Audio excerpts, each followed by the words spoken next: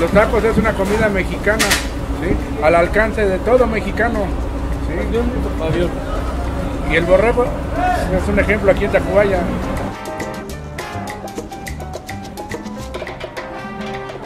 La especialidad del borrego en sí son todos los tacos, nada más depende del paladar. ¿Qué significa? Pues qué tan bueno y qué tan malo seas para los tacos. Yo tengo como unos 15 años de taquero. Aquí tengo poco tiempo, acabo de llegar, pero ya he recorrido la Ciudad de México por ahí. El diablo me apodan.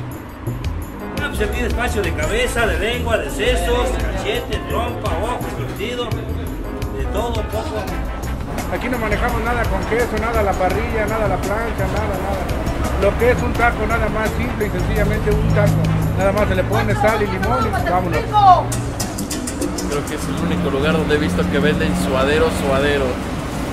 Porque no en todos lados te venden el suadero como tal, ¿no? Entonces hay que reconocer que si hay calidad en la, en la carne.